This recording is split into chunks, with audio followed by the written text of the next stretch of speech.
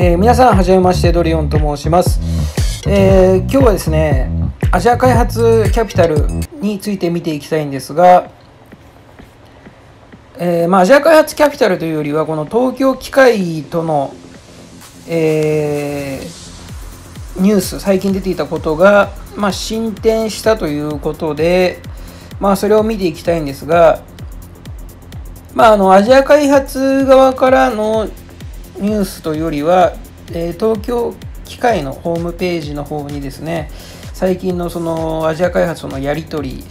に関しての、まあ、回答の部分ですかねが出ていたのでまあそこであの自分としては、えープラスに進んでるんじゃないかなということでそちらをちょっと紹介していきたいなと思います。で掲示板にもですねアジア開発の支配権が条件付きで成立と感じる東京機械からの回答文ですねみたいな感じで。まあ東京機械との面談がついに来たぞ面白くなってきたということで。まあ早速ですねちょっと東京機械のホームページを見ていきたいと思います。でこちら東京機械の、えーホームページの決算の部分なんですが2022年、えー第一四半期決算に関しては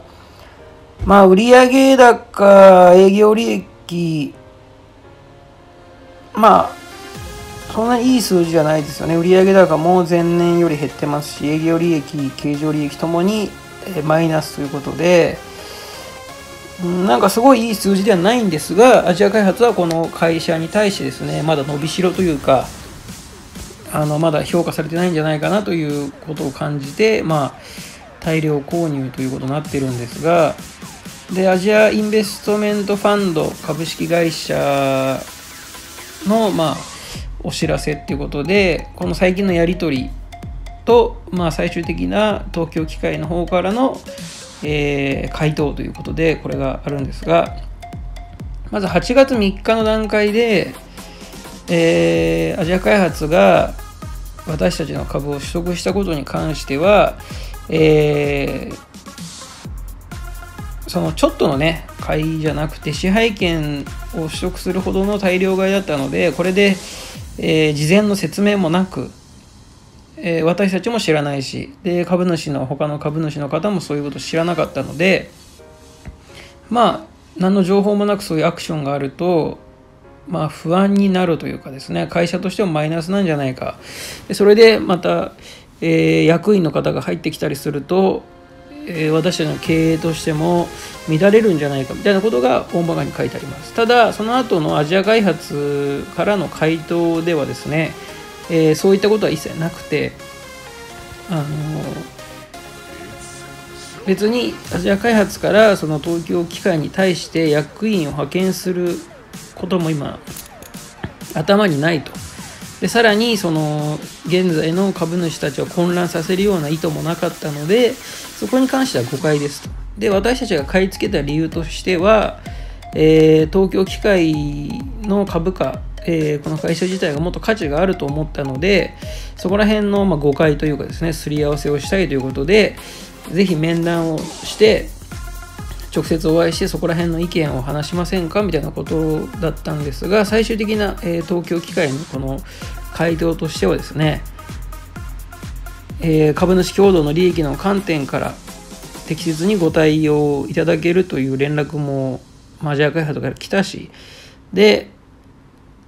当社らは取締役候補者を派遣することを予定していないとアジア開発から、えーそういう文面もありましたので経営陣と建設的な対話を重ねて株主総会における議決権を適切に行使することを通じて、えー記者の企業価値株式価値を向上することができるとお考えとのことであるので、えー経営支配権を取得した後の当社の企業価値、えー株式価値の向上に向けて、えー話を聞きたいということで、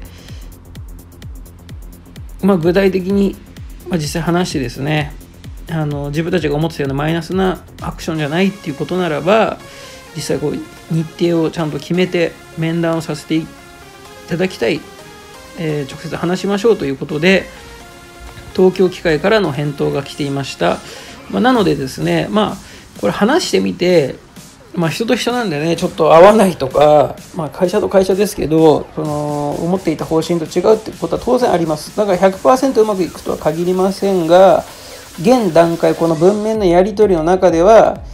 一応その双方の誤解というか、まあ、相手の会社を悪くする目的だったりとか株価を下げるようなことではなくあの東京機械の経営に入り込みすぎることなくうまくやっていきますよっていうことで、まあ、それならば実際ちゃんと直接会って話して今後の方針について話しましょうっていう文面が出たので、